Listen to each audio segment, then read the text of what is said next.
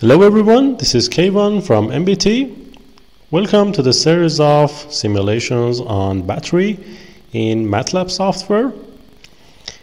In this session, we're going to have a simulation on a single cell battery in MATLAB without thermal effect. So in order to start this simulation, we need to introduce some backgrounds on the Simulink library and its components in the MATLAB. So as an example, we simulate a pulse generator with a gain in the Simulink interface. This pulse generator uh, has an amplitude that produces a pulse and the gain here amplifies the amplitude of the generator. In order to show the results, we introduce a component called scope. As you can see on the right side, the third component from the left is the scope that we use this component in order to show the results. So now let's go to the MATLAB software and have this simple simulation in the Simulink interface. So now here we are in the MATLAB software. In order to start the Simulink from the Home tab, you can click on the Simulink option this is the Simulink start page. From this page you can select different models.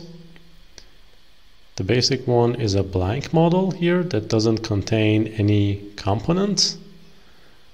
Other models contain some components like source control, code generation, digital filter, and you can also have access to other products like aerospace block sets, audio systems, communications.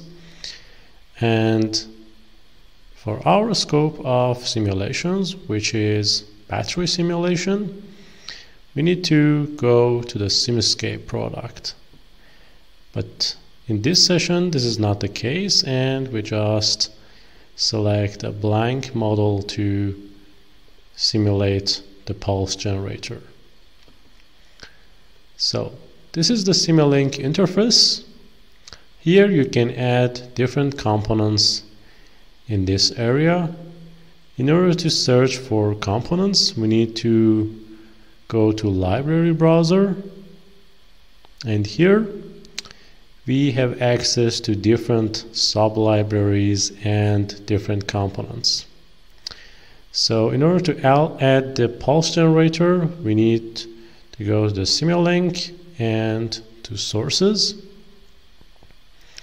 In the sources sub-library, we have different components like constant. This constant component introduce a value of a component for as an input for another component We have other components like ground, like ramp, like the pulse generator that we need for this example. We have also the sine wave and step or other components. So in order to have this pulse generator in the Simulink interface, you just need to drag and drop the icon when you drag and drop it here, it asks you for a value for the amplitude of the pulse. You can give it a value or just click and skip it. Then you can double click on the pulse generator icon and see its parameters like amplitude, period, pulse width, phase delay, and you can also have a small equation here that defines the output pulses. This pulse type is time-based, so it varies depending on the time value. And now for the amplitude we give it a value of 5 and we leave other components other parameters as by default and click OK. Another component that we need here is a gain. A gain is a component that amplifies the value of another component so here we want to amplify the pulse value coming from the pulse generator. So in order to add the gain component we go again to the Simulink library browser and from here we search for the gain component if you click OK we have the gain component here. You have also other gain components from other libraries for example from the aerospace block sets or from communications systems. But now we just use the simple one in the Simulink. So we drag and drop this component it asks us for a value. The default one is 1 but we give it a value of 2 so the gain is gonna amplifies the amplitude of the pulse generator by a value of 2 in order to visualize the results we need to add a scope so we search for the scope component now we can add the scope component to the interface.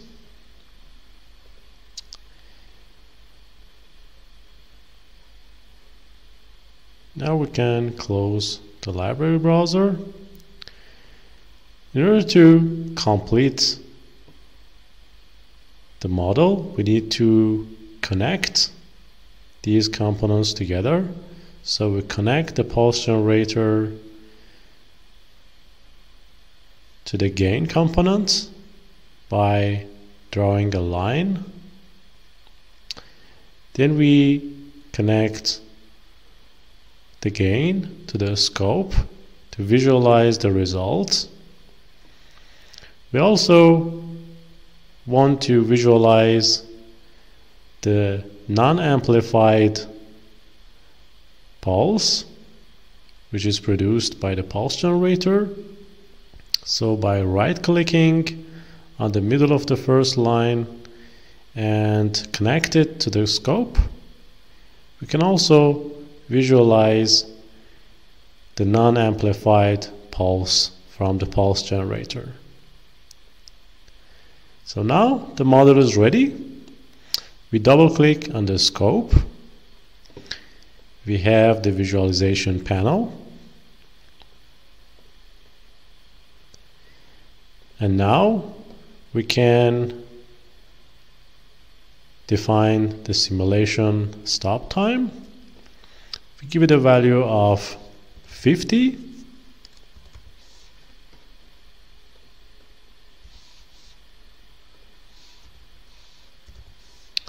and start the simulation. So as you can see, the simulation period is 50 seconds. The blue lines are the pulse generator pulses. We gave it a value of 5 for the amplitude. So we can see amplitude of the blue line is 5 and then the gain is gonna amplifies the pulse generator's amplitude by 2 so it gives us a value of 10 for the amplitude after the gain. So this is all for this sample simulation in the Simulink. I hope you enjoyed Then we go to the next part and start the simulation of the battery in the Simulink interface. Have a good day.